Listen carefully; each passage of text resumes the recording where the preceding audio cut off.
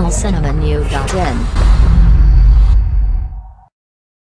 சிவா மனசல சக்தி நண்பன் உள்ளிட்ட தமிழ் படங்களில் நடித்த நடிகை அனுவியா. மாப்பிங் செய்யப்பட்ட தவறான புகைப்படம் சமூக வலைதளங்களில் பரவி வருகிறது.